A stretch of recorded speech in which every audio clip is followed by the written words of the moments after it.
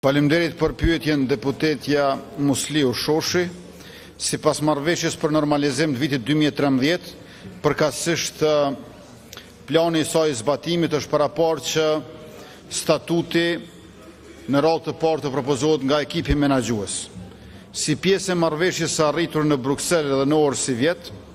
lehtësuesi Lajçak pati përcaktuar që drafti i hartuar nga ekipi menaxhues të prezantohet në takimin e nivelit të lartë të dialogut Kosovë-Serbi me datë dy maj në Bruksel. Nga data dy maj, procesi është hapur për negocim. Qeveria ime nuk është pajtuar me draftin e ekipit menaxhues, për shkak që ai draft imitonte në përmbajtje dhe në formë Republikën Serbe të Bosnjë dhe Hercegovinës. Rrjedhimisht unë kam propozuar një draft vizion për të zbatuar nenin shtatë të marrëveshjes bazike e në lidhje edhe me nenin dhjetë, për të cilin nuk kam pranuar ë së pari aprovimin e palës tjetër, e cila nuk e pranoi fare dokumentin, e më pas edhe të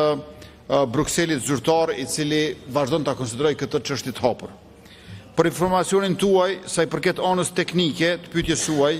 përbërja e ekipit menaxhues është ndryshuar tri herë nga qeveritë respektive të asaj kohe, përkatësisht me dy mijë e trembëdhjetë, dy mijë e gjashtëmbëdhjetë dhe së fundi me njëzet e pesë shtator dy mijë e njëzet, kur janë zëvendësuar dy anëtarë. Vendimi i fundit i konfirmuar në këtë kohë kishte në përbërje këta anëtarë, Danijela Vujiçiq, koordinatore e sapoemëruar, Igor Kalamar, Dejan Radojkoviq dhe Jelena Beloviq. Emërimi është bërë nga ministri i Pushtetit Lokal i qeverisë asaj kohe, Goran Rakiq dhe vendimi kërkon që ekipi menaxhues të koordinojë të gjitha aktivitetet me ministrin e Pushtetit Lokal. Pas prezantimit të draftit statutit, me datën dy maj,